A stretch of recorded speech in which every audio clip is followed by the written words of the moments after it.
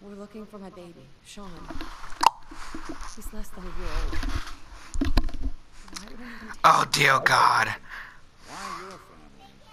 What? The Institute found me.